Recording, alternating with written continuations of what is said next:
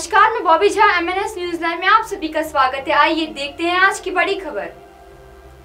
मोदी के रडार वाले बयान पर लालू ने किया ट्वीट। पटना लोकसभा चुनाव के बीच बयानबाजी का दौर जारी है। इन दिनों प्रधानमंत्री नरेंद्र मोदी अपने रडार वाले बयान को लेकर सोशल मीडिया पर सुर्खियों में बने हुए हैं। पीएम मोदी ने एक इंटरव्यू में बालाकोट एयर स्ट्राइक पर बात करते हुए कहा था कि बादल रडार से बचा सकते हैं। इस बयान को लेकर ट्रोलर्स की फौज से लेकर विपक्षी दलों ने भी उन पर जमकर निशाना साधा। इसी क्रम में राष्ट्रीय जनता दल के प्रमुख लालू प्रसाद यादव भी पीछे नहीं रहे।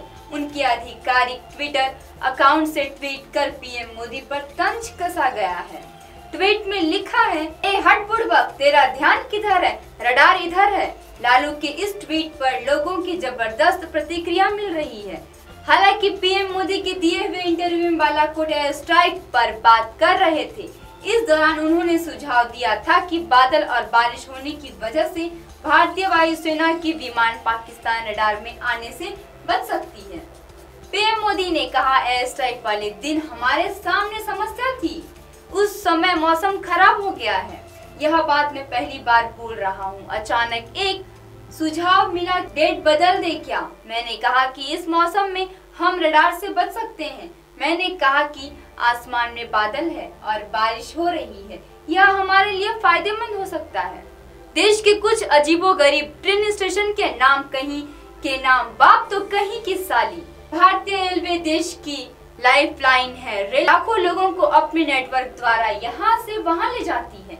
भारत में कुछ रेलवे स्टेशन के नाम अजीबो गरीब है।